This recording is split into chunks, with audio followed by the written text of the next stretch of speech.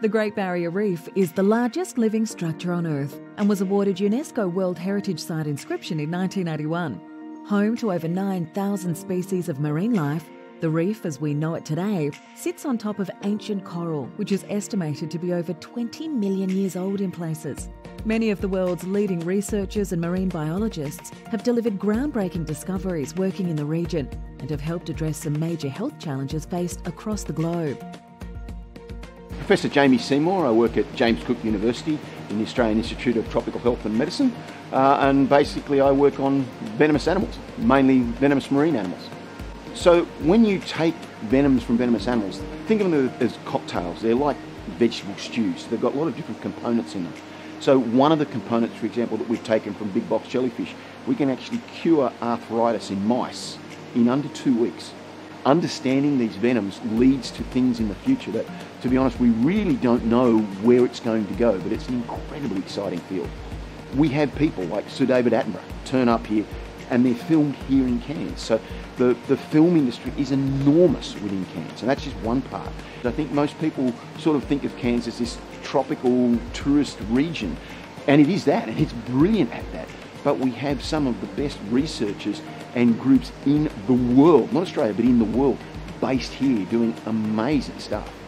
One of the beauties of working in Cairns is that you have access to you know, World Heritage listed stuff. So you've got the Great Barrier Reef on one side of you, and you've got you know the rainforest on the other, which gives you a unique ability to go to places within a day's travel. So from us, from a research perspective, it, it literally gives you the entire world at your doorstep. And I don't know of any other place in the world that allows you to do that.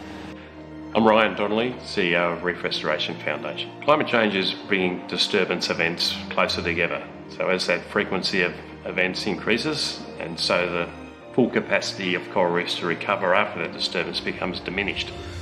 So reef restoration aims to accelerate that process of recovery by helping to, helping to rebuild those coral reefs that have been affected by events like bleaching and cyclones. There's a number of methods to rebuild a reef.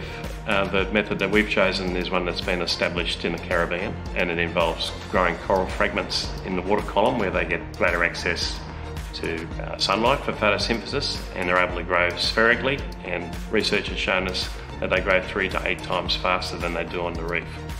What I love about my work is there is a movement being created and it's a movement that's replicable and it's community based and we're bringing along people with us, people from businesses, from corporations, from all compass points of our community are getting on board and they're realising that there are things that they can do in their day-to-day lives that can make a difference to the Great Barrier Reef.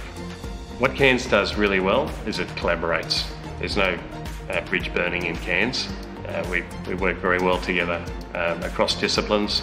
We've got uh, two universities that work very well with organisations such as mine, and um, I think that's that's the, that's the critical part is our ability to work together.